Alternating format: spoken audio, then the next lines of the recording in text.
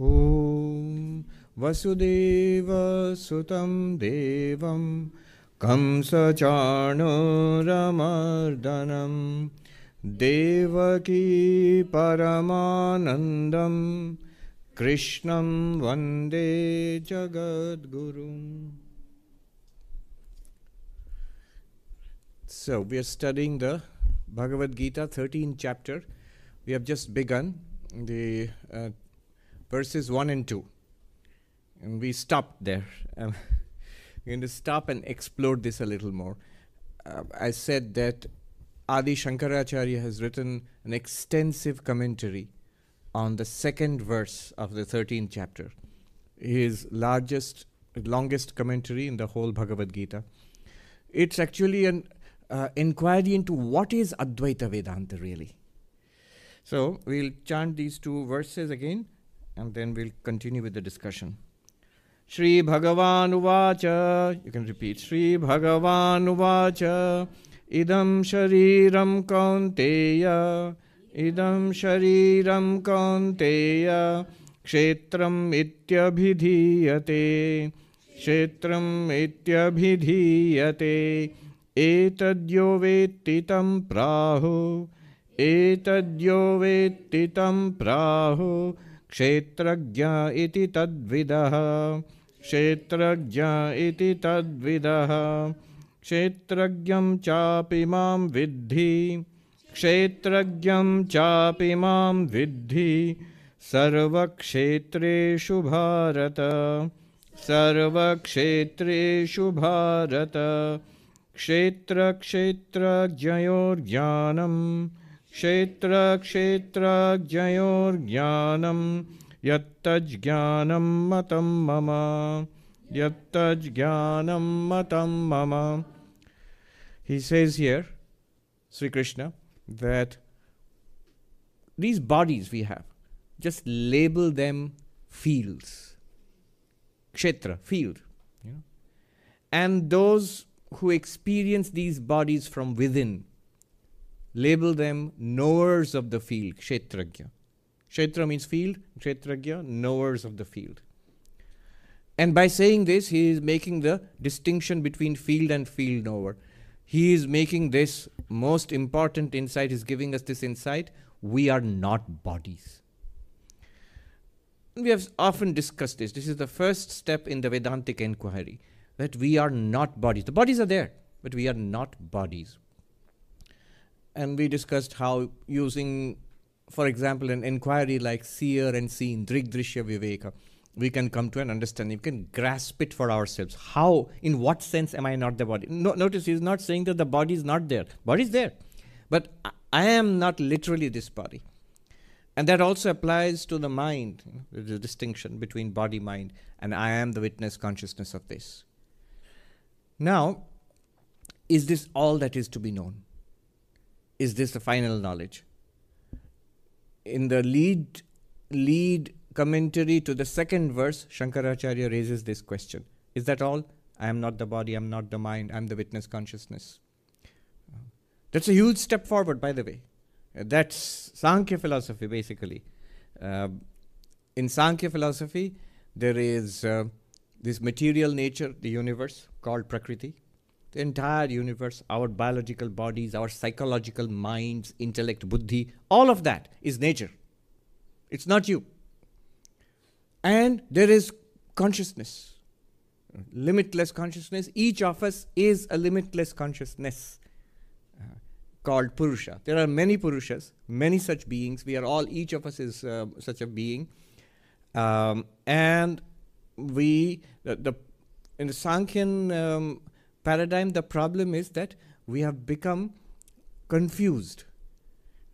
See, material nature and consciousness, Prakriti and Purusha, interact. Where do they interact? They interact in these bodies, in each of us. We are basically interactions of matter and spirit, of Prakriti and Purusha, all of us right now. But we are not combinations of matter and spirit. We are spirit itself. We are consciousness itself. We are Purusha. And we somehow we don't know that. And so what Sankhya does is to teach us to separate these two in our understanding. They are already separate. but we are not seeing them separately. So see the separateness, the distinction of these two, and that's freedom according to Sankhya. What is bondage according to Sankhya? Mixing up consciousness and matter, subject and object. And what's freedom according to Sankhya? Separation. Viyoga. Yoga is viyoga. Yoga literally means joining, but in Sankhyan sense, it's separation. Um, because of this, so why is it a problem and what is it a solution? Why is separation a solution? It's a problem because all that happens in material nature we take upon ourselves. Uh, so, birth and aging and illness and you know, physical suffering and eventual death and rebirth, all of that we take upon ourselves, the conscious being, because we think we are these bodies. And then anxiety and fear and unhappiness and desire and uh, frustration, all of these things which are um, characteristics of the mind, we take upon ourselves because we do not see the difference between ourselves and the mind. It's like being reflected. You're, you see, you've forgotten your real face and you see yourself reflected in the mirror and then the dust in the mirror, you think my face has become dusty, or my face has become concave or convex, or the mirror is cracked and my face has become cracked. No, it's the reflection in the mirror. Similarly, consciousness shining on the mind, whatever happens in the mind, you know, unhappiness, anger, misery, um, guilt, whatever is there in the mind, it's all you, we, uh, we own it. And then we suffer. I can hear myself. It's material nature. yes. Or somebody's watching live stream and me also at the same time. yes. It's, uh, that's an infinite feedback, feedback loop. So the separation, knowing yourself as pure consciousness, and then working through the body mind, then you are free of it. Because consciousness by itself is not born, it does not age, it does not die. The bodies do that. Consciousness does not become um, uh, unhappy or miserable or uh, even consciousness does not wake, dream, or sleep. It is the mind which wakes, dreams, and sleeps. So, if you can separate these two and clearly see the distinction, even while you are operating the body mind, you'd be free. This is, but this is Sankhya. This is Sankhya. Advaita is a step forward, is, is further. In Advaita Vedanta, what happens? In the second verse, Krishna says that uh, oneness. It's not separation. After separating yourself, seeing the distinction between yourself and body mind, then this pure consciousness itself, this witness consciousness itself, this is one in all bodies and minds. And this is that one in which the, all bodies, minds, and the universe appears in that all knowers and the known, all subjects and objects, they appear in this ground. They, you know, we could call it Godhead, you call it Brahman, you call it um, the um, absolute, the ground, whatever you call it. And that we are. So that is what Krishna says in the second verse. He goes further. Shankaracharya asks this question Is this enough to know the distinction between Kshetra and Kshetra? In other words, he's asking, Is Sankhya enough? And he says, No, there's something more. And Krishna goes on to say something which is not accepted by Sankhya. There is one consciousness in all bodies and minds, not one um, knower of the field in every field. No, apparently so, but really, if you investigate the knower of the field, you'll find that there is one knower of the field ultimately. This is uh, Sankhya does not agree with this. Sankhya says there are many consciousnesses, the one consciousness. Why one consciousness? Why not many consciousnesses? These debates, well, I mean, there are a lot of discussions on this. Further, all these fields and the world and every universe, they're all appearing in that consciousness. What do you mean appearing? They're not. Do you see the difference between appearing to and appearing in? I'll give you three statements. The universe appears to you, the consciousness. One. Two. The universe appears in you, the consciousness. Three, the, you, the consciousness, appear as your own universe.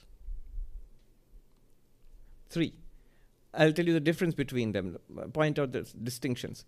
When I say the universe appears to us, it means there is a distinct universe which is appearing to me. There's a universe, and I'm experiencing it uh, because I'm conscious.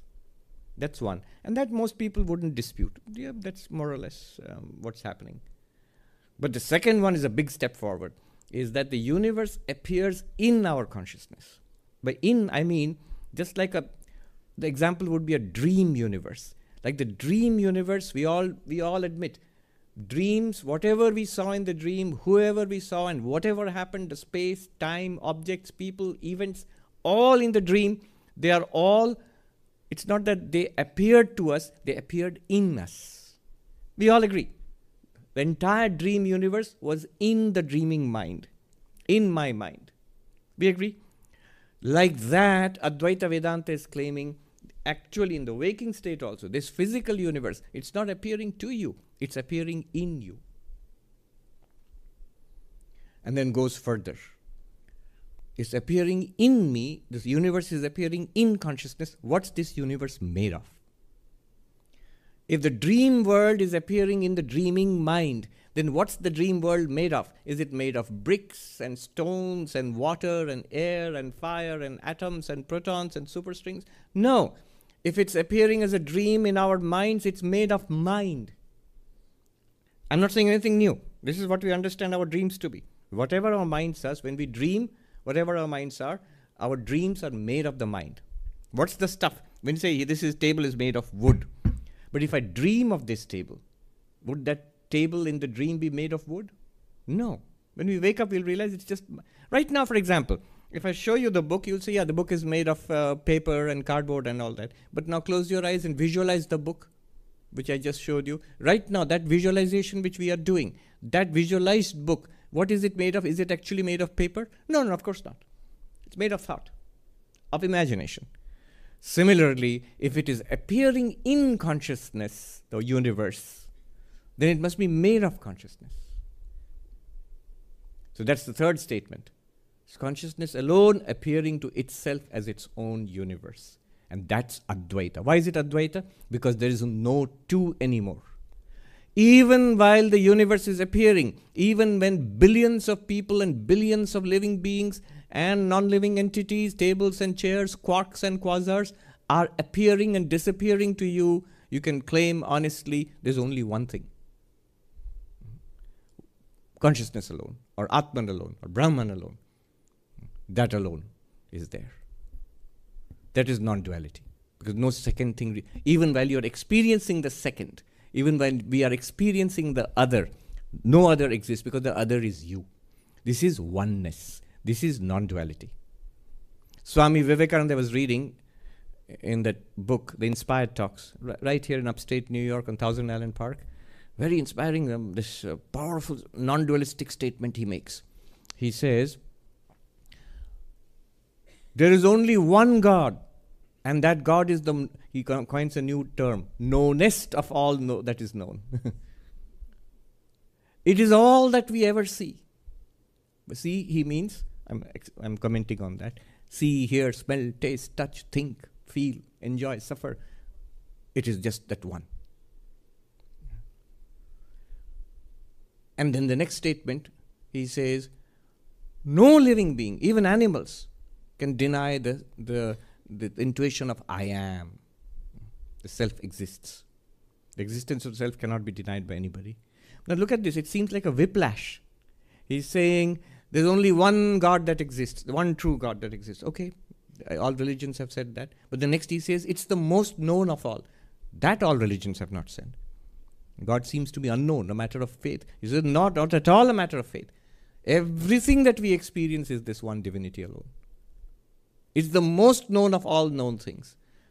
But then, what do you mean exactly? It's the most known of all known things?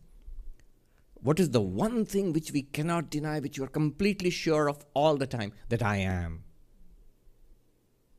So, that, what is God?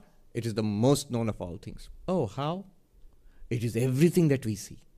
See, hear, smell, whatever we experience. Oh, really? How so?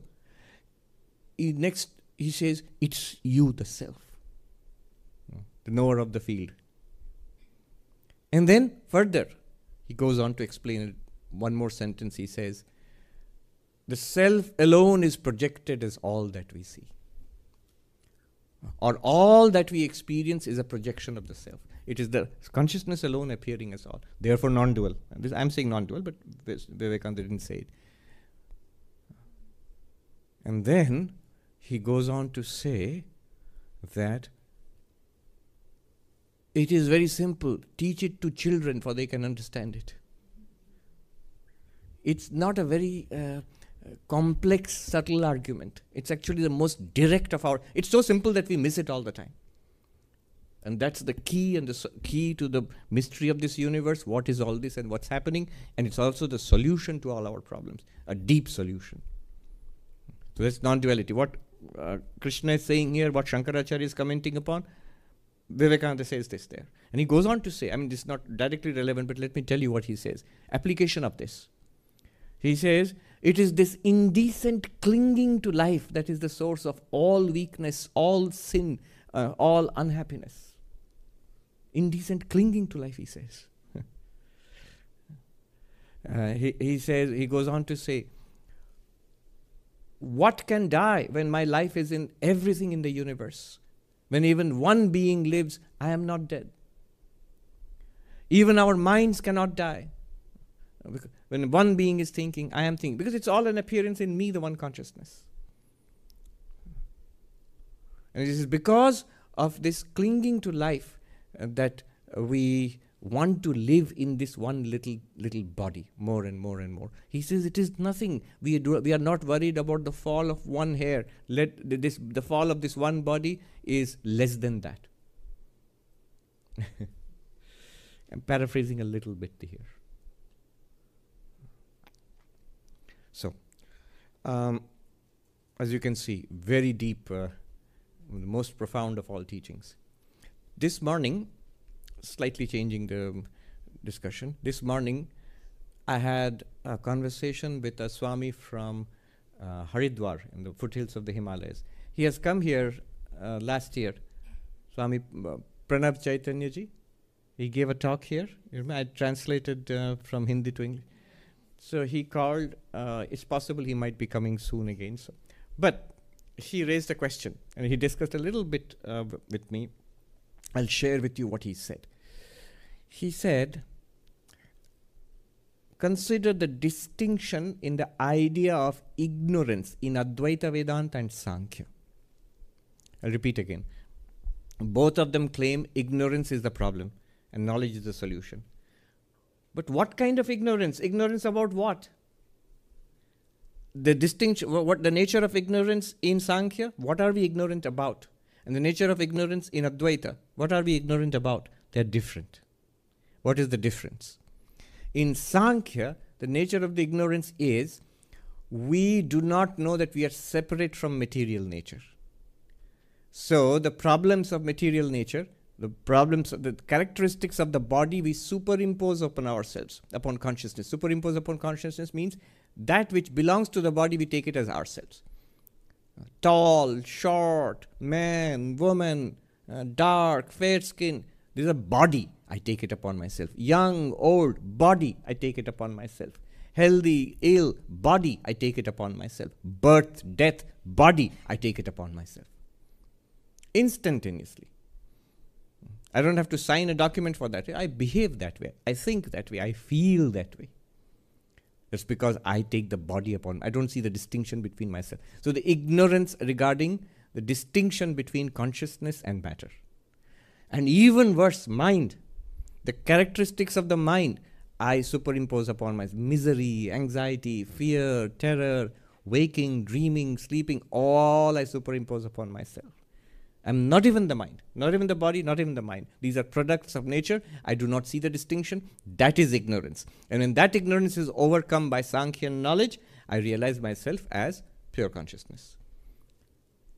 But clearly, it still remains as a dualistic system consciousness and matter, spirit and matter, consciousness and object. Whereas he said, in Advaita Vedanta, what is the nature of Maya? What is the nature of ignorance, avidya, maya? In Advaita Vedanta, it is, um, I'm translating what he said, it is anirvachaniya. You cannot say that it is, you cannot say that it is not. And it is entirely within consciousness projecting consciousness as this display of this universe. So it is not just a confusion in the intellect, as it seems to be in Sankhya. Here it is a power of Brahman or Atman which projects Brahman, existence, consciousness, bliss, as this entire universe. So Brahman itself appears as this universe. In Sankhya, that's not true. In Sankhya, you are not this universe. In fact, you are distinct from this universe. That's the thing. Here, it's the opposite. You are this universe. Hmm. This universe. Our problem then in Advaita is that we identify ourselves with a slice of this universe, this little body mind, and then everybody else is an other. We do not know what we are immortal consciousness, existence, and we we identify ourselves with what we are not this body mind. So when we remove ignorance in advaita vedanta we arrive at non-duality. In sankhya we arrive at duality consciousness and matter. I am not this in advaita vedanta we arrive at i am the reality of all that exists i'm the one consciousness i'm the, in the one knower of the field in all fields as as uh, krishna has said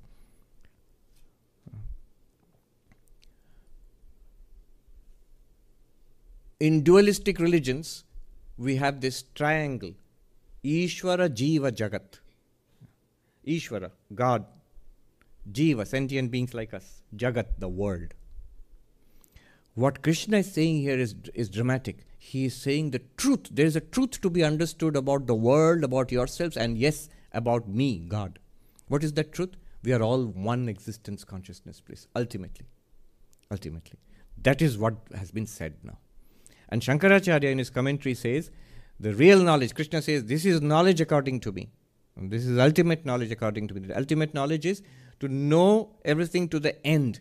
What is this world ultimately, really? What are we really? Not stopping halfway like Sankhya. And what is God? Sankhya doesn't even talk about God. So, what is God really? Ishvara, Jiva, Jagat, these are ultimately one existence consciousness, bliss. Not parts. There is only one, appearing as a world, appearing as many sentient beings, and appearing as the God of all of this. So this is uh, uh, this is a dramatic difference.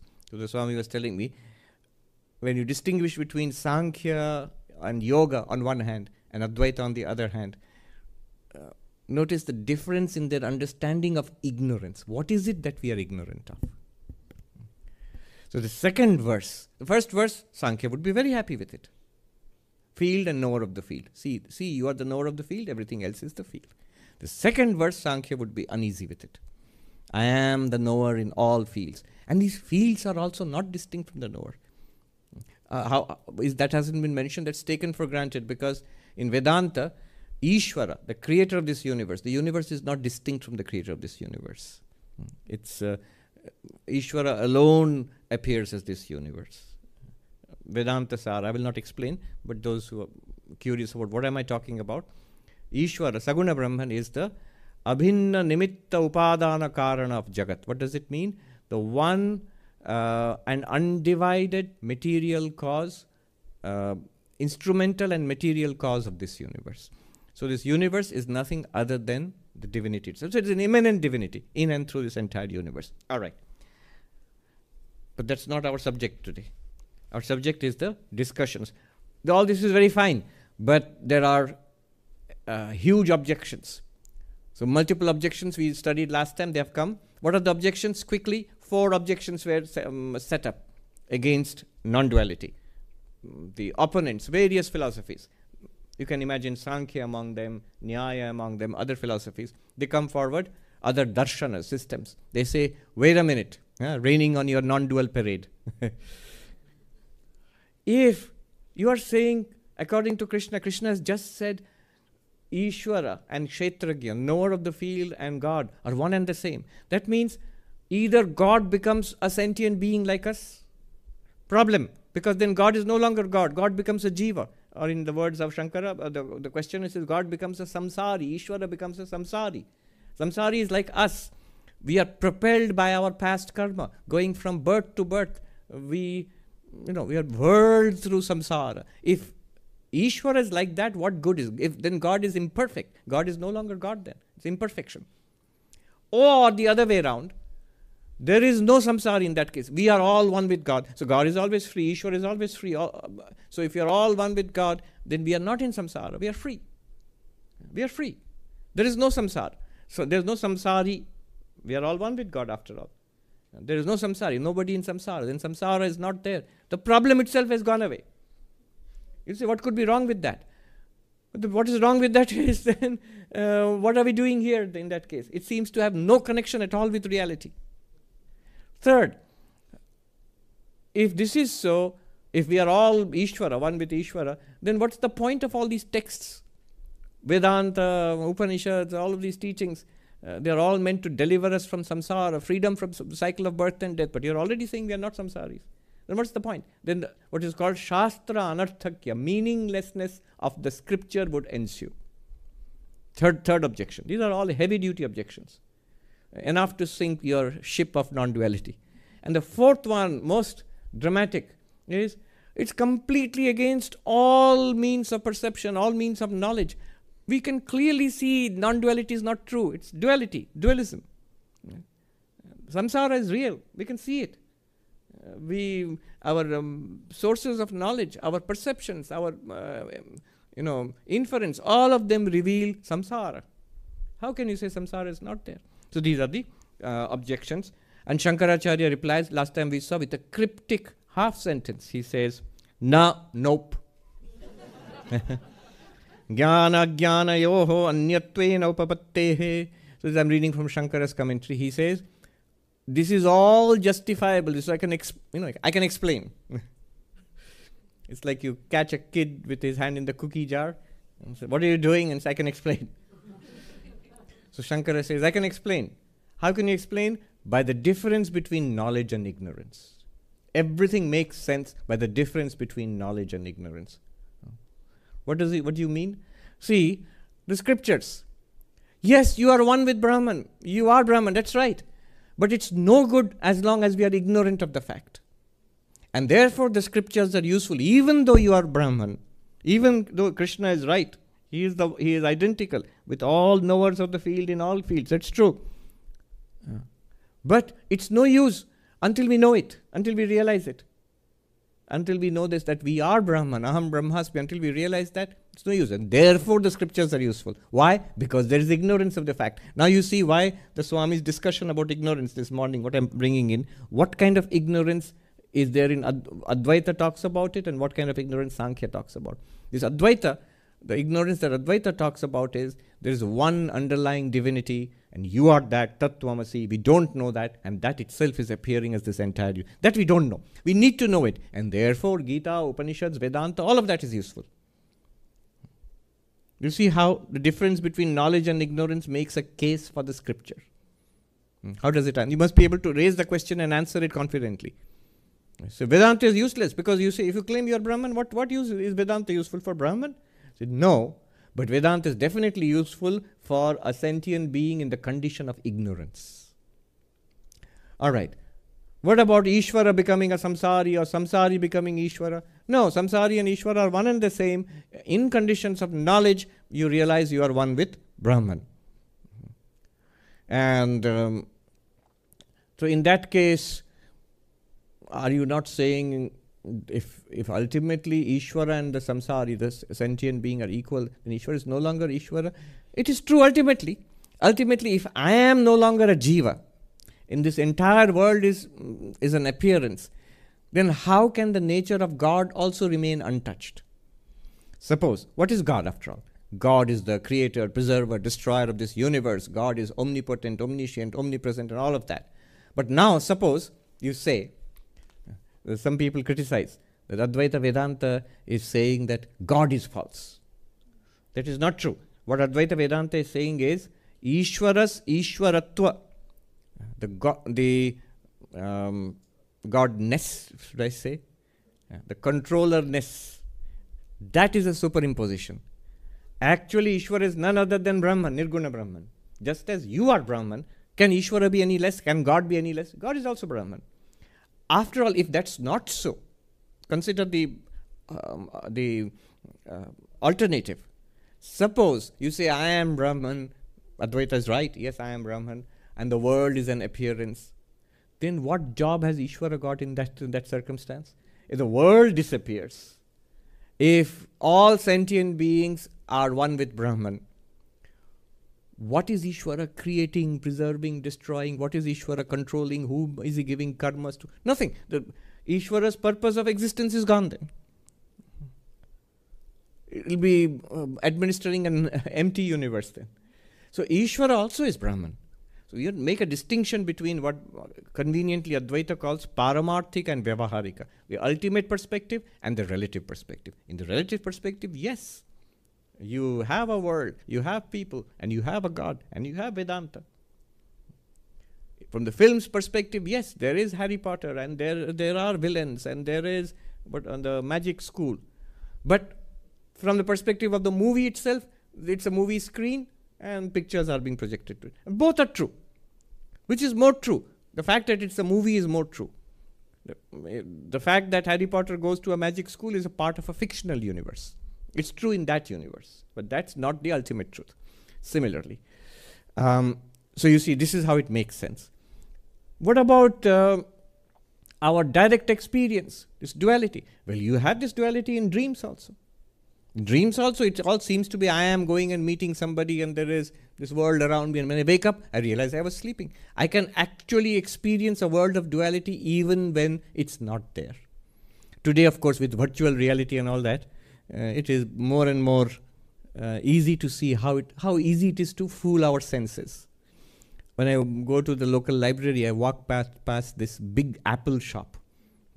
So it's very apt, you know. They have an Apple shop in Big Apple, so they call it the Big Apple, Big Apple, and they make it in such a way the whole thing is glass, so you can see what's happening inside. And nowadays they have earlier they used to show laptops and things like that. I could see now there's a whole range of these glasses are there, there's uh, um, Apple Vision or something like that they call it. So it projects a whole um, uh, virtual world in front of you, and which you, with which you can interact and do your work also. Similarly, in this case, in fact, um, there's this book, Untethered Soul. If you Google it, most popular book on meditation, I think, in the top of the lists, Untethered Soul. I forget the name of the author. Um, Anybody remembers? Michael Singer. Singer. Michael Singer, yeah. So there he gives a very beautiful um, example. He says that um, imagine you've gone to a movie and it's very overwhelming. You know, big screen and all that. It's very overwhelming. And you, you you're sitting in darkness, so you can't see yourself. You're seeing the movie. How how you get absorbed in the movie especially if it's a compelling plot. Now, suppose it goes beyond that, no longer 2D, it's 3D. And like a virtual reality, all the characters are all around you. Not only is it 3D with depth and all, you can see and hear, but now suppose you can touch, can shake hands with somebody who's coming there. yeah. And that's possible now. They, in, there's a place called MIT Media Labs, a lot of, mm, it's in uh, Boston. So they gave me a tour and some of the stuff that uh, that's going to come very soon into the market and all. I don't know if I'm supposed to talk about it. so uh, haptic sensors, you can uh, actually the gloves will help you to touch all the virtual um, objects and shake hands with people who might be across the continent and so on. Um, so suppose you are not able to touch also. Now go a little further. You are able to smell. Uh, some movie theater did that. I, read about it and that uh, when there's a flower and the character is smelling the flower, a little nozzle in your seat will squirt a little uh, uh, fragrance so you can smell it, what the character is smelling. And then suppose you can taste it also. If you eat a virtual uh, um, uh, samosa or something, you can taste it. now, how real would that be? Now he goes, Michael Singer goes further. He says, not only that, but suppose this is a special, special movie theater where they can inject thoughts into your mind. They're no longer your thoughts, they're thoughts of the character. And they, in, in, they have a screen which shields off your memories. So now you are in the skin of the character. You're walking in that place interacting with whoever the character is interacting with, thinking the thoughts of that character, and they give you a whole set of memories of that character. What would it be like? Like this, like what we are right now. Like, right, like, right, what, what we are right now. Your pure consciousness presented with five senses, with a physical body, with objects of the senses, with form and light and sp- uh, taste and smell and touch, heat and cold, uh, pain and pleasure, and with a mind which will give you thoughts, memories, tell you stories continuously, generate memories and all of that. And now you are, eh, here you are. So that is that's what's happening to us. We are superimposing all of that upon ourselves.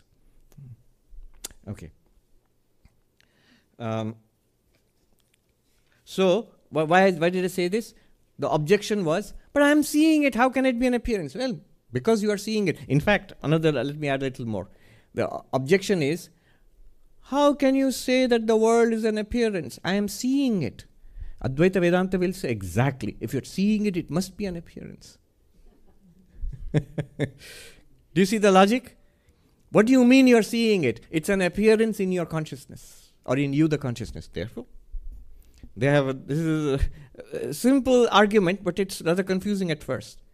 Jagat mithya drishyatvat. The world is false. Why? Because you see it. Anything that we see is an object. Right? You say, okay, so, but the object is presented to consciousness.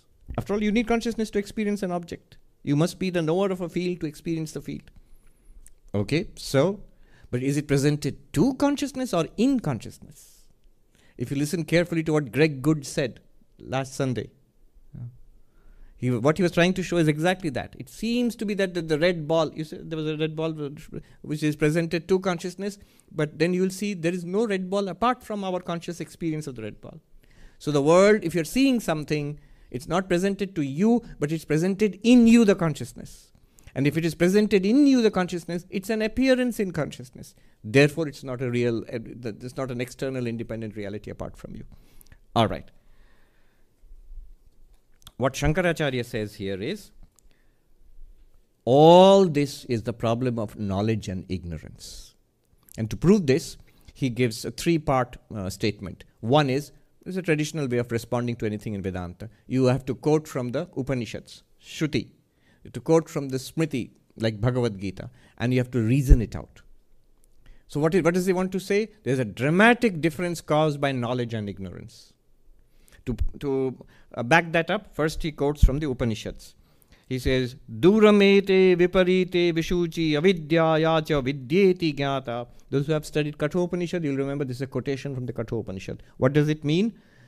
Vast and distinct are the paths of knowledge and ignorance.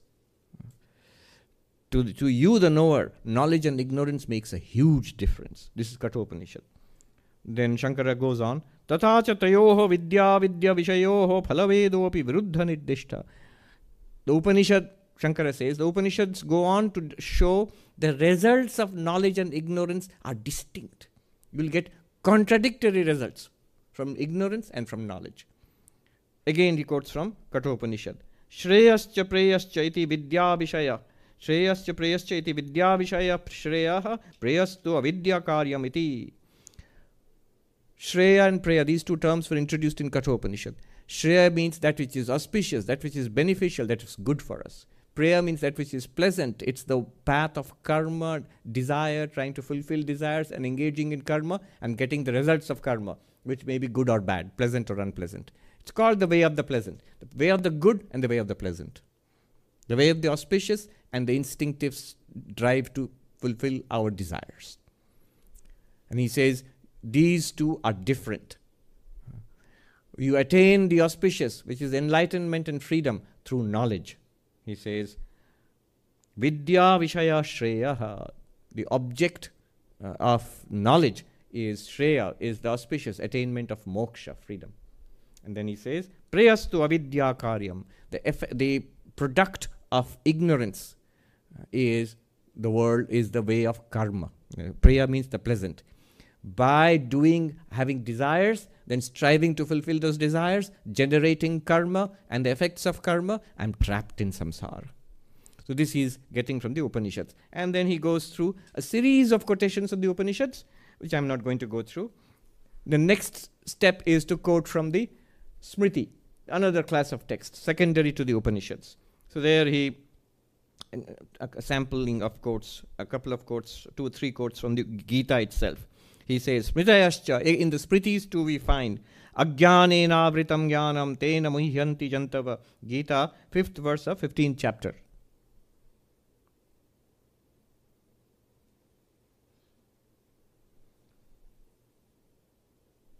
No, this is the 15th verse of 5th chapter. By ignorance uh, is uh, uh, are, are deluded uh, all, all sentient beings.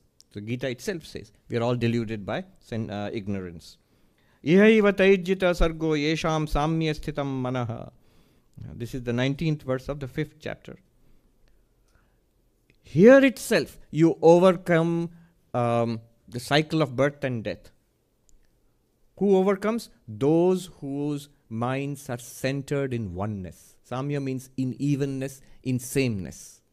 You see the same reality in the midst. He says here, here itself. Here means in the midst of tremendous diversity. You see the underlying oneness.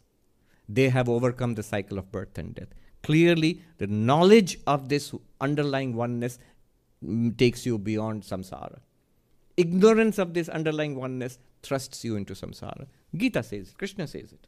Then next, 13th um, chapter, 28th verse. Samam pashyan hi sarvatra samavasthitam ishwaram. So in this very chapter it will come later on. So those who see in all beings that one underlying divinity, which Krishna has said, I am the one knower in all beings, see, they will attain freedom. So again and again, it is to, to something to be seen, to be to be realized, to be known. Knowledge, knowledge, knowledge. That will rescue us from samsara, which is a product of ignorance. So again, the Smritis, the Gita itself says this. Next, an argument. Nyayatascha. And from reasoning also we have. Shankara says, let's reason about this. What are we reasoning about? What are we talking about? What are we quoting? The difference between knowledge and ignorance. He wants to say it's all your questions will, will be answered if you see it as a difference between knowledge and ignorance. The reasoning is this सर्पान् कुशाग्राणि तथोदपानं ज्ञात्वा मनुष्या परिवर्जयन्ति। अज्ञानत् अज्ञानतस्तत्र पतन्ति केचित्। ज्ञाने फलं पश्य तथा विशिष्टं। So is quoting from the Mahabharata but this an argument here uh, wells kushagra that means the, the, these grass which has very so if you walk with bare feet or touch them with your bare hands, you might get a nasty little cut. Knowing the presence of a snake or, a, or an open well or that this is sharp grass, what do they? Do, what do people do? Manushya parivarjayanti. People carefully avoid those areas. And ajnanata tata patanti kechit. But those, some people who don't know about it or ignorant about it, there's an open well there, or there's a poisonous snake there, or uh, there's sharp grass there. What happens? They fall into that and they get hurt. What's your point? He says, Phalam pashya tatha vishishtam. Jnane phalam pashya tatha vishishtam. Note the distinctive result, the benefit of knowledge. This is the argument he's making.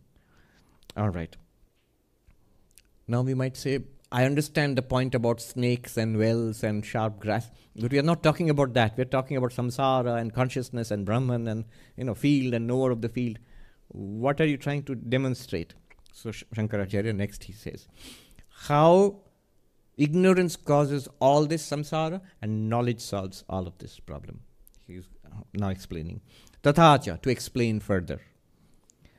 देहादिषु आत्मबुद्धिः अविद्वान् रागद्वेषादिप्रयुक्तः धर्माधर्मानुष्ठानकृत् जायते म्रियते च इति अवगम्यते we understand that avidwan the uh, ignorant one the one who does not know the, the truth of vedanta what happens dehadishu atma buddhi has the feeling that the body etc are the self i am this body what's this body i what are you? This. And Adi means etc. What's etc.? Senses and mind and um, ideas and personality. I am this body mind complex. Then what happens? Raga Dveshadi Prayukta, impelled by uh, strong likes and dislikes. The moment I am the body mind, i am bound to have preferences and dislikes. I'm bound to want some things and be afraid of other things. The moment I am this body, you can't help it. You can be brave about it. You can exercise self control about it. But as long as you feel you are this, you will be affected. So, Raga Dveshadi Prayukta, propelled by desires, likes and dislikes, attractions and repulsions. What do we do? Dharma Dharma Anushthanakrit. This ignorant one performs dharma and adharma, moral and immoral actions. Basically, does things in the world, engages in action as an agent of actions, does things. If the person is wise within the limits of ethics, within the limits of morality, tries to do the decent thing in the pursuit of the worldly goals. And remember, these worldly goals, according to Shankara, are all based on ignorance. They're all a product of delusion. I need food to survive. No, you don't. What do you mean, Swami? No, you don't. You, the body needs food to survive. Yeah, that's what I meant, but you're not the body. Swami, you're dependent on the next breath of air that you take to very, very existence. No, you're not. The body is. You're not. So, this is what Vivekananda calls this indecent clinging to life. It'll, it'll come. The moment we think we are the body, without any doubt, we will cling to life because the body wants to survive. That's the very nature of a biological machine. It wants to continue. And we'll own it. It's my desire. It isn't actually. You have been uh, fooled. You've, what's the word from? You've been had. And if you think the body is a trickster, no, it isn't. It's, it's a simpleton. Its desires and its activities are pretty simple. The mind is terrifying. It's terrifying. Hmm. The mind enjoys its madness. Yeah. I was reading this. There are um, mental patients. You know, one reason why they they, they do resist taking pills is that it seems once you take those pills, um, the brightness goes out of life. It dulls those very faculties which which uh, generate the madness. I was reading yesterday. So there's this uh, very uh, close to us, a very noted professor of economics, uh, Kaushik Basu, Professor Kaushik Basu, who has written this book, Reason to be Happy. It has a double meaning. He means that to be happy, you should reason.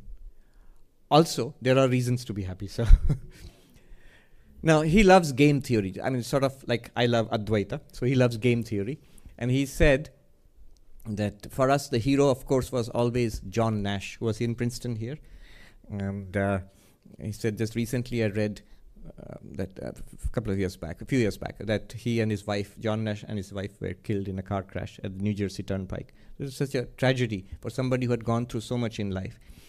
Um, most of us we know about John Nash because of a movie, Beautiful Mind. Uh, so he was this prodigy who ultimately got the Nobel Prize for economics, but his real contribution was to game theory and mathematics, the, what's called the Nash equilibrium. Anyway, to cut a long story short, uh, this professor said, I was reminded of the time I had met John Nash, my hero, you know, at Princeton. So he and another professor were visiting Princeton University, and by that time, um, John Nash had pulled out of the schizophrenia problem quite a bit, and he was mostly uh, all right. So he used to spend uh, hours and hours walking on the lawns, on the grounds of the university. And this professor said, so he's a legend to us, but people at Princeton had become used to seeing him because he is always around. And we used to watch in awe this whose subject we were teaching in class. The man himself is out there walk pacing the lawns. So he said one day I invited him for uh, to have lunch with us in the cafeteria in the university. So the great man came and he sat with us with Professor Basu and another uh, professor. and uh, we talked not much. And a little aside he reveals is another young Indian student was there uh, who was passing by, and we called him, join us. He was none other than Abhijit Banerjee, who got the Nobel Prize just two years ago. he was uh, there at that time. He came. I said he came and joined us at the at the table, and when we informed, he didn't even know who John Nash was. We informed him who he was. It's like an English literature student suddenly was told that the other person, third person on the, the on the table is uh, William Shakespeare. he, is, he was stunned. he said, "Look." But then he says, John Nash talked about, or wrote actually, and meant about his illness. He said he did not look upon the treatment as an unmixed blessing. He said it's coming out of the schizophrenic um, delusion. This is according to John Nash. This is not something you see in the movie. He says it's not like recovering from a physical illness. If you recover from a physical illness, it's great. It's an unmixed blessing. You feel much better. But he said when you recover from that, it's like the spark has gone out of life. Which is why for some time he refused to take medicines because it pre- prevented him from doing mathematics also. The mind loves its madness. But one difference I can tell you if we are enlightened, we will not feel the spark has gone out of life. For the first time, you will free. What does it feel like? It's not like coming out of schizophrenia. It's rather coming out of, uh, Shankaracharya says, like a, out of a physical illness. You feel for the first time endless well being. Vivekananda had this discussion with um, the great agnostic Robert Ingersoll. Robert Ingersoll said to Vivekananda, I don't believe in your this religion, spirituality. I believe in squeezing the orange of life, you know, to the last drop. Vivekananda said, I believe that too. Only in my choice of fruit do I differ. differ. Uh, for me, it's a mango. But then he says, imagine, if you can, that you do not die. Imagine the freedom you have. Imagine that the universe is one with you. Exactly what we're talking about. Universe is one with you. The joy of knowing that everybody is one with God, whatever you experience. He says, live life in this way and squeeze the orange of your life, uh, squeeze the fruit of, uh, uh, you know, and get every last drop, get 10,000 fold more. So, then he says, Dharma Dharma Anushtan Krit, performing um, dharma and adharma, moral actions, immoral action. Then what happens? You generate karma, do moral actions, you generate good karma, what is called punya, and do immoral actions, generate bad karma, what is called papa. And the result of this punya and papa, good karma and bad karma, is sukha and dukkha, pleasure and pain. How do we know this is true? look at our lives, pleasure and pain. what you know, people think, what was I in my past life? If it's at all true, what was I in the past life? Don't bother. Just look at your present life. It gives you a clue to what you were in your past life. somebody joked this whole problem with past lives is everybody um, you know says that they, they, they were cleopatra or you know julius caesar or something in the past life no we were whatever has generated this life right now so then what happens? Jayate mriyate cha. Is born and they die. And then they're born again. And then and they die again. And this is called this chakra the cycle of samsara. This is due to ignorance. Avidwan, the ignorant one. This is all because of ignorance. And if we know what we truly are, then what happens? ದೇಹಾದಿ ವ್ಯತಿರಿಕ್ತಾತ್ಮದರ್ಶಿನ ರಾಗದ್ವೇಷಾದಿ ರಾಗದ್ವೇಷಾದಿ ಪ್ರಹಾಣ ಅಪೇಕ್ಷ ಧರ್ಮಾಧರ್ಮ ಪ್ರವೃತ್ತಿ ಉಪಶಮಾತ್ those who know the truth that I am not the body, not the mind. I'm this limitless consciousness. So I'm not born or dying with the body of the mind, uh, with the with the uh, body mind. I'm not dying with being born or dying with the body, and I'm not transmigrating from life to life with the mind. Then what happens? Raga, dveshadi, prahana, peksha. The strong likes and dislikes, this clinging, in Vivekananda's words, much better. This indecent clinging to life goes away. So, are we going to commit suicide? No, suicide is also indecent clinging to life you become quite free of this um, struggle to continue to exist in this way. And then this life will become pleasant. This life will become full of peace, unshakable peace. As long as it lasts, you will. There's a description of the enlightened one with a slight, not a big laugh, slight smile on your lips. You'll go about the business of life. Hmm. Uh, and muchyante. So you will not engage in good and bad karma as an agent of karma because you are no longer an agent of karma. You are witness consciousness. You are not an actor in the movie anymore. Even while acting, uh, that uh, untethered soul, Michael Singer, that example, now suddenly you know Yes, here is the world. It's an appearance in me, the consciousness. Here is a body. Here are even thoughts, good and bad thoughts. They are all appearances in me, the consciousness. None of them are me. Then you do not generate new karma. And once this body particular uh, episode is over, no new episode, no new further seasons in TV series of I, me, mine. That's the name of the TV series we are acting out now. uh, you're the hero and the villain of your own uh, TV series you get your what is it Emmy Emmy award and then you you're free इति न केनचित् प्रत्याख्यातुं शक्यं न्यायतः nobody can logically uh, deny this he says. What he's saying here is interesting. He's saying that we that remember his opponents are other philosophies. There are philosophies like the Nyaya philosophy, Vaisheshika philosophy, Sankhya philosophy, which we talked about just now, the Yoga philosophy. Then there is the Purva Mimamsa philosophy, um, other dualistic schools of Vedanta, the Jaina philosophy, the various schools of Buddhism. Except the materialist Charvakas, all of them more or less agree to this. Shankara says he's playing an interesting game here in order to defeat the opponent, he's not arguing his own case first. He's f- pointing out what you all agree. What you all agree. You all agree that we are going through um, samsara. Uh, and you all agree it's because of ignorance. Although, as the Swami pointed out to me, the nature of ignorance is different in each philosophy. So you all agree it's due to ignorance. And you all agree when you become enlightened, you become free of samsara. Nobody can reject this because none of you, that means the other other opponents who have gathered around to attack him, you all believe this. Okay, so then he says, if you do, tatra evam sati, if that's what you believe, now he'll go into what do you call lower the hammer on them. क्षेत्र ईश्वर से सता विद्यात उपाधिभेदता संसारी भवति यथा देहाद्यात्म आत्मत्वम आत्मन in that case what Krishna said I Ishwar God am this संसारी and because of the उपाधिज explain that because of the body mind and all of these generated by maya संसारी भवति As if you're a samsari. That's what's happening. As if you are a samsari. As if, see, even in Michael Singer's example, when you enter into the world where there are there's a world and you are you have see your own body you even have thoughts injected into you. Even then you are not in that world. You're the one watching that super movie that extraordinary movie. You're not in there actually.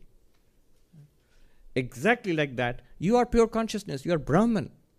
Samsaritvam eva bhavati as if you are a samsari you are as if in the matrix movie world like a Somebody, when, when the Matrix movie was released, somebody told me you should see it. It's a Vedantic movie.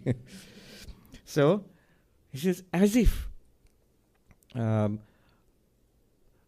and that as if is due to ignorance.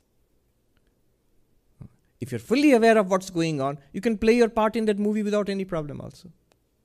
You can still go back into the movie, knowing that it's a movie. It's not a problem anymore. Not knowing it's a movie you become a samsari. the movie becomes your samsara. Especially if even the thoughts are injected by the director. Terrible then. How ho- horrible it will be. But it won't be horrible if you're aware it's being done by the director. Then it can be very scary, but it will still be uh, an aesthetic experience. You see why the doctrine of the falsity of the world, the nature of the world appearance, this doctrine is so important to non duality. Okay. Sarvajantunam, and then he adds something very cleverly. Yatha dehadhyatmatvam atmanaha. Just as, he says, you are a samsari as if, just as all sentient beings believe that Dehadi Atma, that I am the body. Why did he add that? Because that's what all of those philosophies also say. See, what he's doing here is he's very skillful, kind of philosophical, you know, jujitsu he is doing. So what he's doing is he's using the beliefs of those attackers against them. You all believe that all of those philosophies, whether Buddhists or Hindus, whoever, they believe in multiple lifetimes, in karma, people going from lifetime to lifetime, and samsara, and eventual liberation, moksha, uh, nirvana from samsara, even that it's all due to ignorance, and even that release will be due to knowledge. All of that they believe. He's using it against them. He's saying, just as you guys think by mistake, see, everybody thinks we are the body. And that they think according due to ignorance because they are not the body. You all agree, right?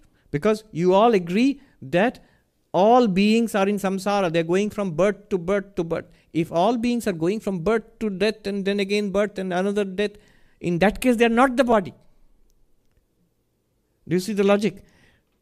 You cannot be the body, uh, whichever philosophy you follow. If you are one of those guys who say that there is a samsara, many lives and many deaths, one thing you're implying is the person cannot be the body in that case. Because if the body is dead, in each life the body dies, is gone, then you're gone. You, you cannot go to another life anymore. Only the materialist claims that you're only the body and nothing more than the body. But the, any religion, any religion believes that you must be something more than the body. Every religion believes that, without exception. You cannot be a material entity only and be religious. You can't be. So he's saying, you guys are all, you have your own religions, your philosophies. All of you believe that we, there are many lives, right? In that case, and yet all beings think that they are the body. But in that case, you you also you you hold that there all beings are wrong. You have to say, yeah, beings are wrong. They are not the body, but clearly they think they are the body. Why do they think they are the body? Because of ignorance. Because of ignorance, they superimpose the body upon themselves. So the fact of superimposition, ignorance, its effects, these things is making them accept through their own philosophies. Now you just add a little more to it and bring them to Advaita. Um, and he says, सर्वजन्तूनां हि प्रसिद्धदेयादिषु अन अनात्मसु आत्मभाव निश्चित अविद्याकृतः In all sentient beings, it is well known, well known to all of you. You all masters of different philosophies, you all agree. They all sentient beings under ignorance, they think that the not self, the body is the self. They, they think that. People feel that. All sentient beings feel that. Animals feel that. Human beings feel that. And according to you, this why do they feel that? It's because of ignorance. According to you, you all. You all say you are not the body because you go from lifetime to lifetime. You're going through samsara. Therefore, you can't be the body. Body is dead. So many bodies have come and go. So you could not be the body. You all feel. So why do the people feel that they are the body? It must be only ignorance. So ignorance is causing this, according to you all. You can see them being apprehensive. Yes, whatever, where are you going with this? You'll see. Then he gives an example. Yatha sthano purusha nishchaya. Just as is an old example, in a, there's a tree stump in the distance, and it looks like a human being from a distance. And uh, a person coming says, "Oh, it's a thief." The policeman says it's a thief. It's the lover thinking it's his beloved. So people think different things, but they all think it's a human being. So imagine a dried tree stump with two branches which look like arms in the distance. So he says that's called sthanu. Sthanu literally means stationary object, a tree stump in this case. So the example is this.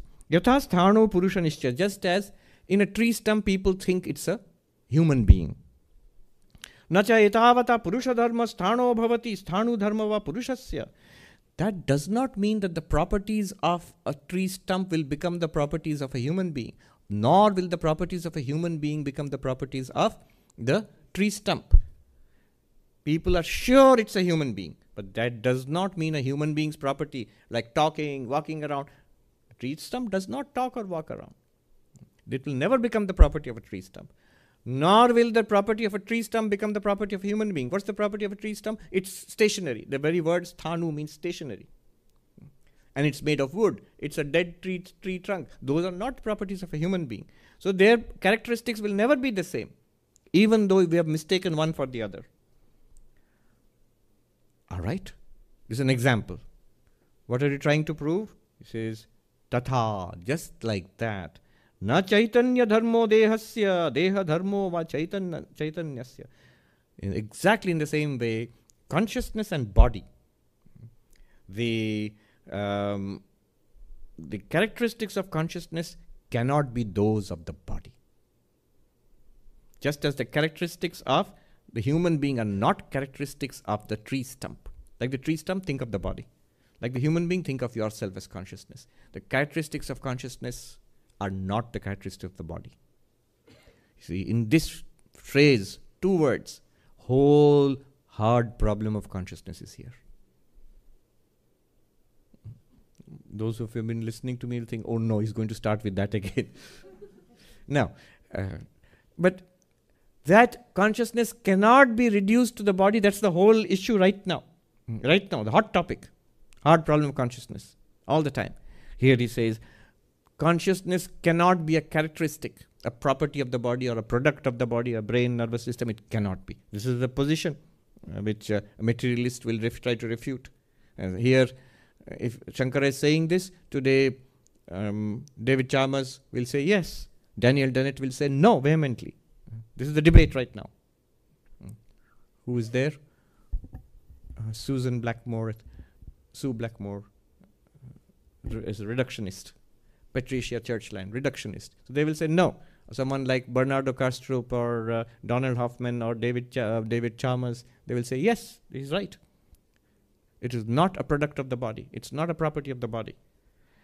And the opposite, he says, Deha dharma va chaitanyasya. The properties of the body, the characteristics of the body are not the characteristics of consciousness. Consciousness is not born, consciousness does not die, consciousness does not get old, consciousness is not male or female, consciousness is not white or black or yellow or brown, consciousness is not young or old, sick or dead. No. They are all characteristics of the body, body, body, body. Now he introduces something interesting. Sukha dukkha moha atmakatwadihi atmana nayukta avidyakritatvad avishesha jara.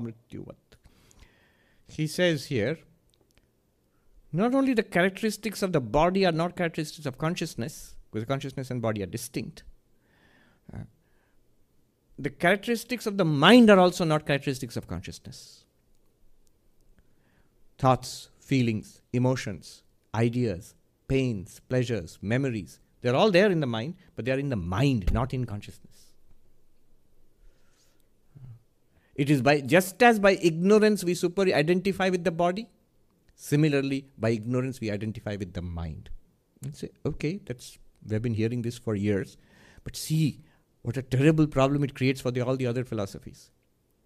All the other philosophies, almost all of them, they accept a couple of schools of Buddhism all the others, they say that the body dies at death. It is the mind, you are the you and the mind, you are one reality, and it goes on to other lives. So you identify what goes on to other lives. Mind. You identify with the mind. And so therefore you become a samsari going from lifetime to lifetime. If you don't identify with the mind, you're not a samsari right now. These other philosophies, Nyaya for example, it says the characteristics of the mind belong to the self. They don't make a clear distinction between mind and pure consciousness. And therefore, they believe the sentient being goes from lifetime to lifetime. This body is death, you go to another body. That body dies, you go to another body. You go to heaven, you go to hell, you are reborn again. All of this. And finally, you will do some kind of spiritual practice in your final birth and attain freedom. This is the story which is told Maybe you'll go to heaven and live with God eternally. This is the story which is told in all dualistic religions. And here he, uh, he attacks that sharply. He says, just like the body is identified with the self out of ignorance, the subtle body, mind too, is identified with the self out of ignorance. Just as height and race and age and disease cannot be characteristics of the self, the characteristics of the body. Similarly, pleasure, pain, memory, personality cannot be characteristics of yourself. your real self. They are characteristics of the mind. Body dies, mind goes on to other uh, lives. I agree with you there, but you are not the mind. So you don't go on to other lives. You apparently do. Right? Virtual reality. As if you are a samsari. You are not really a samsari. Once you make this distinction that you are Brahman, it becomes clear to you. You know, when you make the distinction with not only with the body, if you make distinction with the body, all these every religion becomes applicable to you. But if you make a distinction with the mind, then um, Advaita becomes uh, st- uh, straightforward, direct. In that case, you are not born. You do not take another birth. You do not go from lifetime to lifetime. Mind goes, but you don't. You are the witness of that also. Not only that, you don't attain to freedom because that witness consciousness is already free. You are not in bondage because the witness consciousness is not going from lifetime to lifetime. It's not a samsari actually. You're already free. What will get freedom there? You're already free. Nothing can be done to that. What, why this is an important point is this it's because all the other philosophies do not sufficiently distinguish self from mind.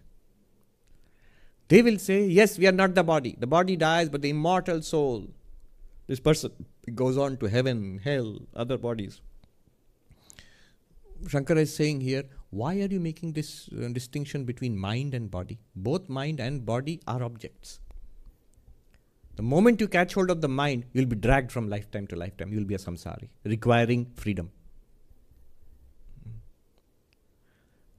And uh, these people will say, no, no, no, no. We are not the body, but we are, certainly we are the mind. The mind is integral part of the self. Shankara says, uh, Avisheshat jara mrityuvat avidya. now he has put them in a corner. Checkmate. Avidya kritatva visheshat jara mrityuvat. He says, because this identification with the mind is equally a product of ignorance as you have all agreed your identification with the body is. Why? Avisheshat. There is no distinction.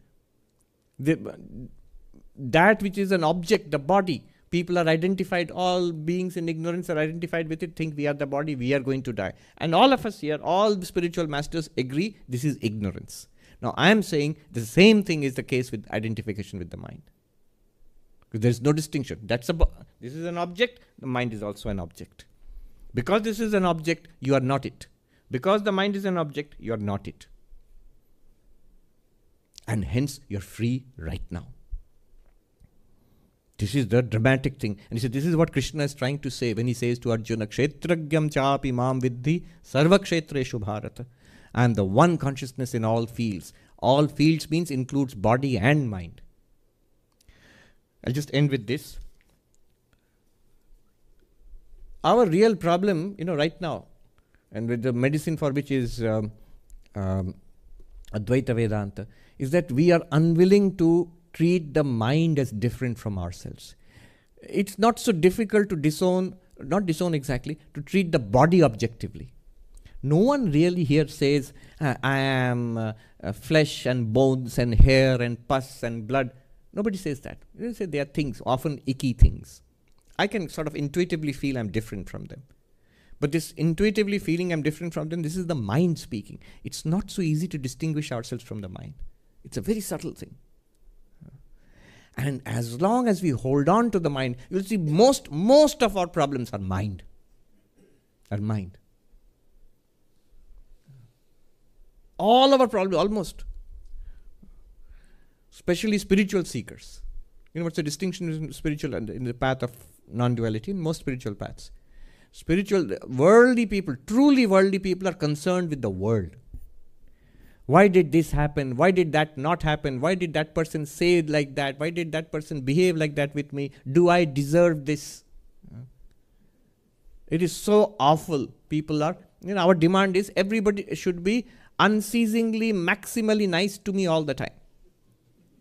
We don't say it sounds crazy but we are that crazy. Hmm. So this is a worldly person concerned with the world only what is the difference between this person and spiritual seeker? Spiritual seeker, the world has faded a little to the background, is more concerned with one's reaction to the world. you know, I meditate, I am devoted to God, I practice Vedanta. Why did I get so upset? I'm upset about being upset. I'm upset about my mindfulness, my meditation, my devotion not being effective.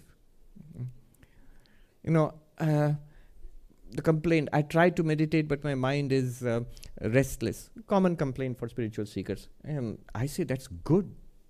That's a sign of great progress. Not that your mind is restless, that's not great progress. The fact that you have stepped back from worldliness. You're more concerned about the mind, the state of the mind, than about the world itself. Great. Big progress. Hmm? Big progress. Yeah, one step, one step closer uh, inward, one step inward. Big progress. I give the example of Swami uh, Abhayananda in Mayavati ashram, uh, you know, faced with a tiger who walked across, the tiger walked across his path one um, afternoon, and his, his reaction was to put his hand in his coat and feel his heartbeat. Has my heartbeat increased?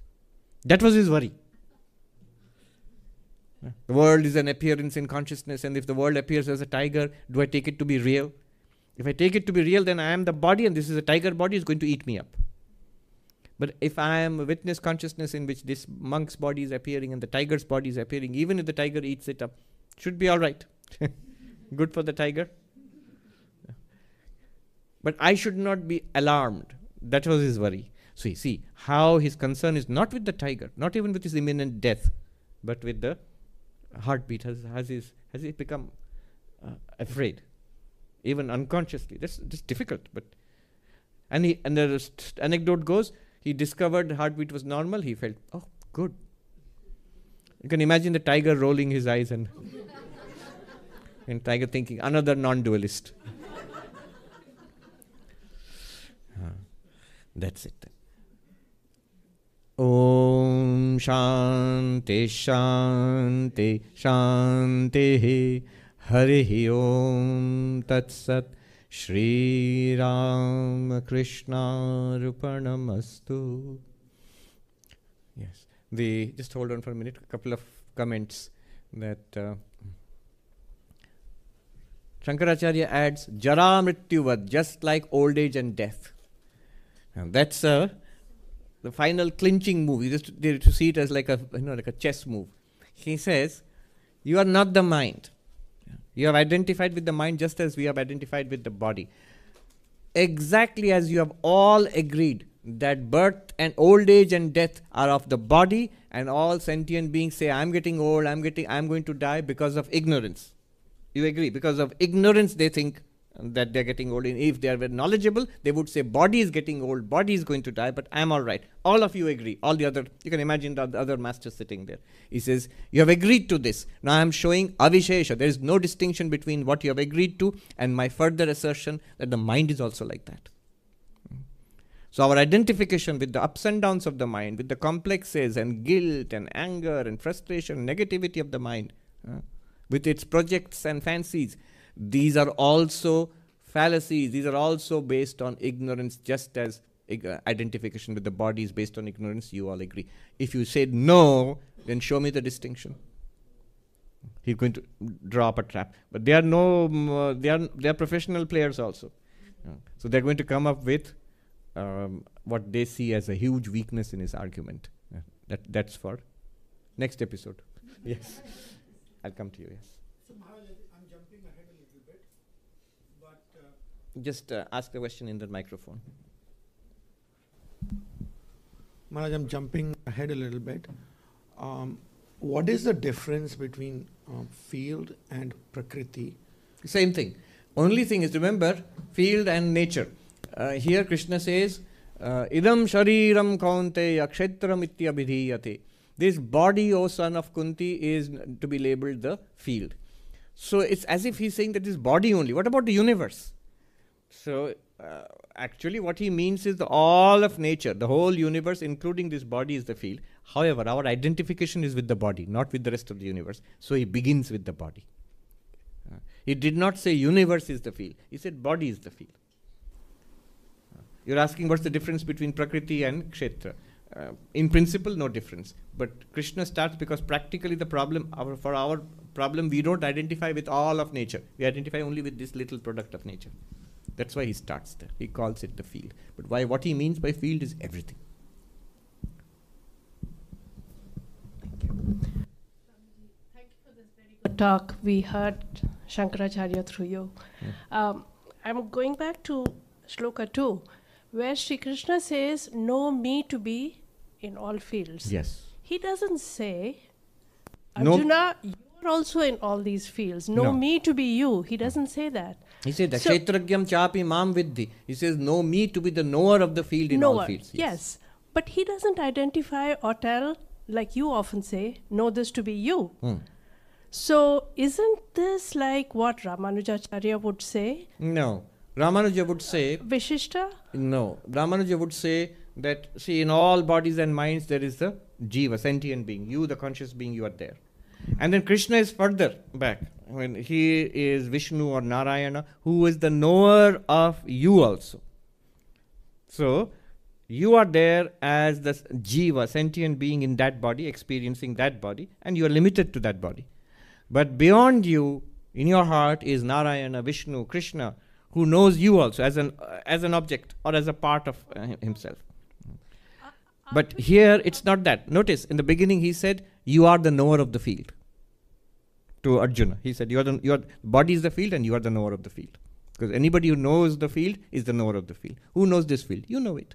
You are the knower of the field. Second verse he said, "I am the knower of the field in all all bodies."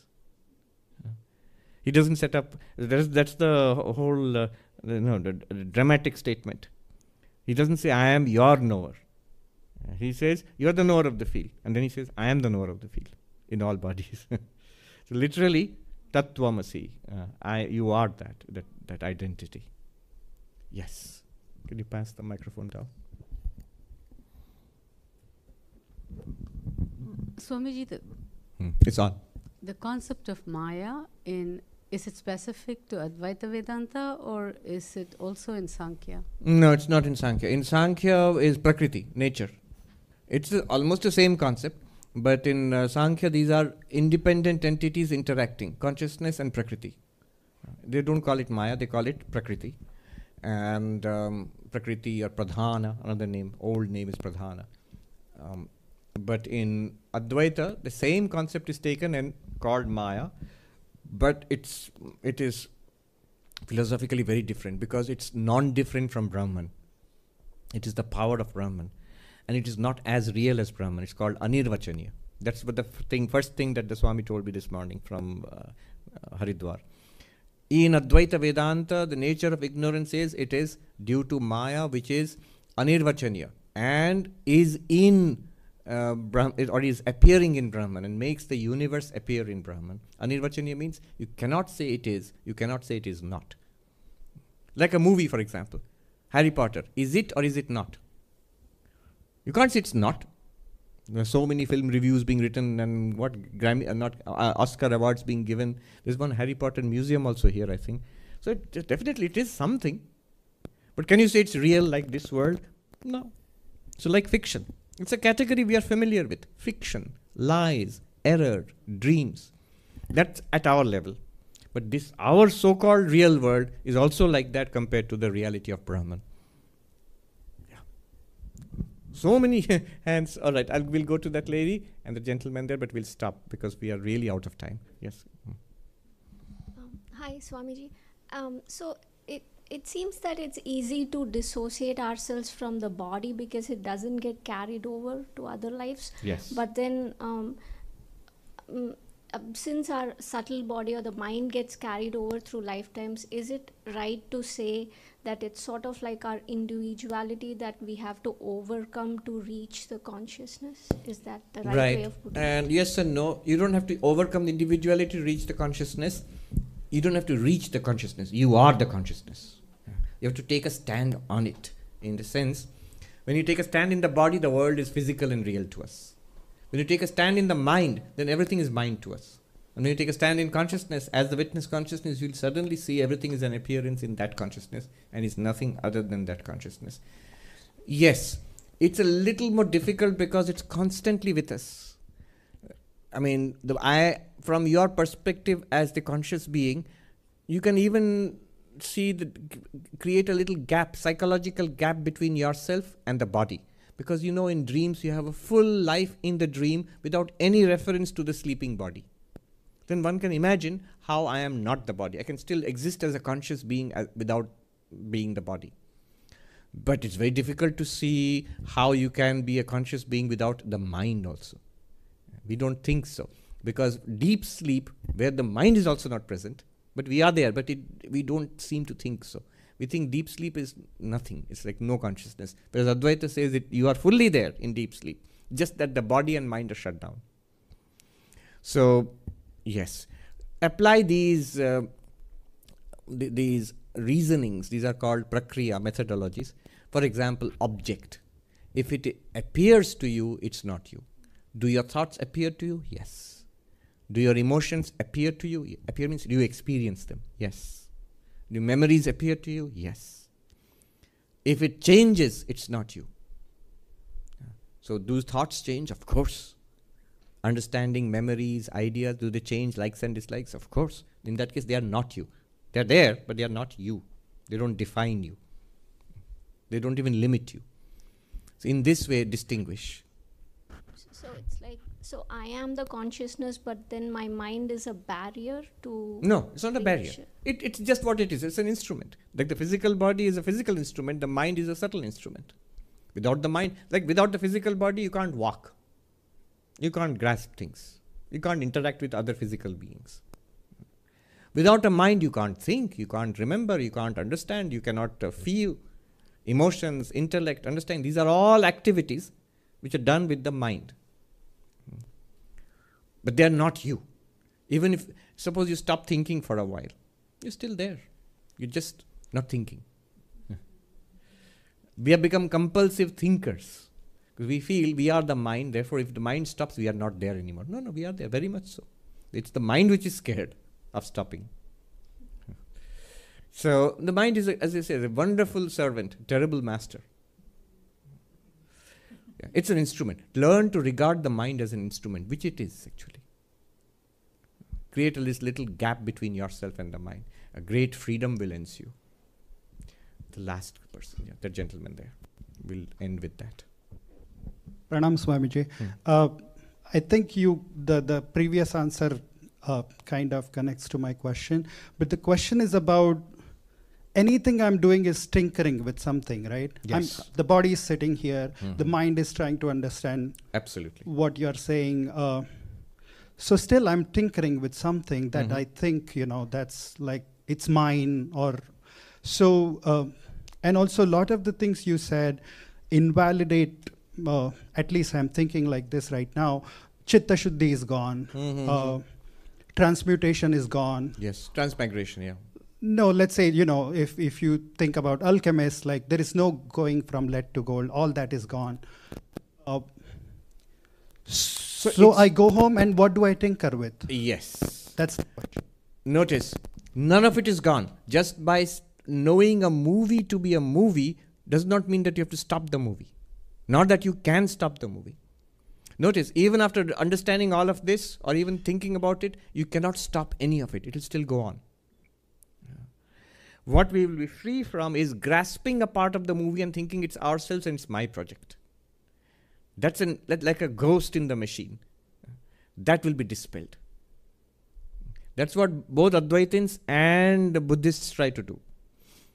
Professor Jay Garfield, who's a professor of Madhyamaka Buddhism, has written a book, Losing Yourself. Lose yourself to be really free. Yourself means the smallest, small self. Mm. Yeah. Tinkering will go on. Not tinkering means action. Action will go on. In fact, the only philosophy which is not afraid of action, which embraces the world as it is, is Advaita Vedanta. Notice, in bhakti, in yoga, in karma, in whatever, uh, or in devotion, in bhakti, you have to set aside the world which you are facing and try to do something special. Because this worldly life is not spiritual. I must have devotion, prayer, um, you know, worship of God, that is spiritual. That's bhakti. That means you are doing something new. A new kind of tinkering has to be done, not the old worldly tinkering. You're rearranging in a new way. In um, uh, Raja Yoga, meditation, Patanjali Yoga, the tinkering is all in the mind. I must shut out this world of tinkering and stop, stop tinkering. Stop it. That's uh, yoga. Sankhya, which we discussed now. I must see myself as separate from all this tinkering.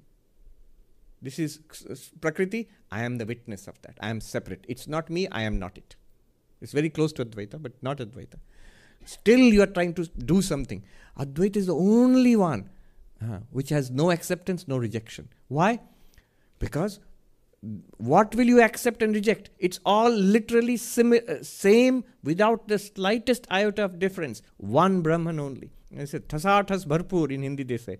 Packed tight with Brahman, packed tight with God is everything that we see. Vivekananda said, the only thing that we have ever seen is that divinity alone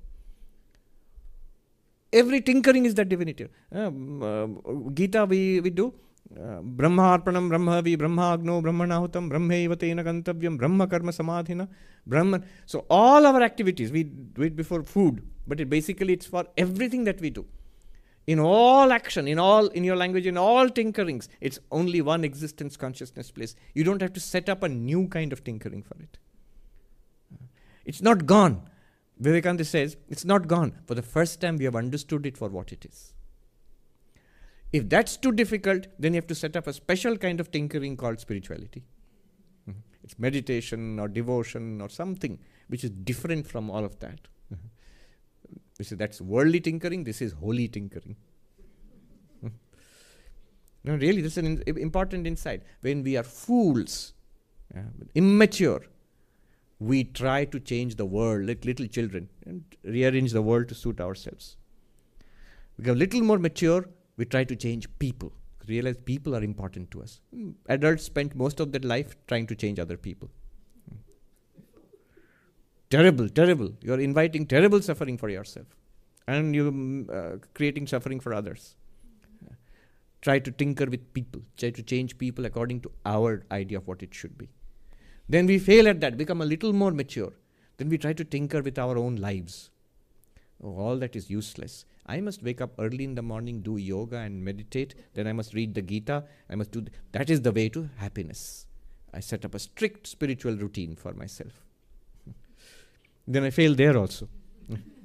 Either I succeed and I don't get that peace, or I don't succeed and then I don't get that peace. Then I understand it's in the mind.